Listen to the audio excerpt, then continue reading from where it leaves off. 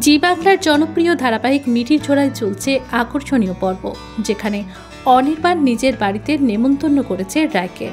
প্রথম এক সপ্তাহ আলাপে অনির্বাণ এবং রায়ের মধ্যে এক সুন্দর বন্ধুত্বের সম্পর্ক তৈরি হয়েছে। অনির্বাণ রায়ের অফিসের বস হলেও সে মোটেও রায়কে কোনো কর্মচারীর মতো দেখে না। বরং অনির্বাণের মনের রায়কে নিয়ে সুন্দর অনুভূতির সৃষ্টি হয়েছে। আর তাই রায়ের হাতে খাবার খাওয়ার আবদার করে বসে অনির্বাণ। রবিবার ছুটির দিন তাই অনির্বাণের বাড়িতে রায়কে নেমন্তন্ন করেছে। রায়ও অফিসের বস হিসেবে না করতে পারে না।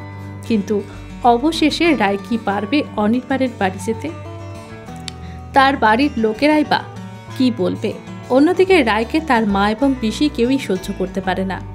প্রত্যেকটি মুহূর্তে উঠে বসতে, কথা শোনাতে ছাড়ে না। এমন পরিস্থিতিতে সমস্ত কিছু সামাল দিয়ে রায় কি পারবে? অনির্বাণের বাড়ি পৌঁছাতে। আবার অন্যদিকে, রায়ের বাড়িতে হাজির হয়েছে নীলু। এবার নীলুকে ফেলে অনির্বাণের বাড়ি কি যেতে পারবে রায়? জানতে দেখতে হবে মিঠিছোড়া এমন পরিস্থিতিতে সমস্ত কিছু সামাল দিয়ে রায় কি পারবে অনির্বাণের বাড়ি পৌঁছতে? নাকি আবারও কথা না রাখার অপরাধে অনির্বাণের কাছে শাস্তি পেতে হবে তাকে? কি ঘটতে চলেছে ধারাবাহিকের আগামী পর্বগুলোতে? জানতে চোখ রাখুন মিঠিচোড়া ধারাবাহিকে প্রত্যেক সোম থেকে শুক্র রাত্রি দশটায় শুধুমাত্র জি বাংলার পর্দায়।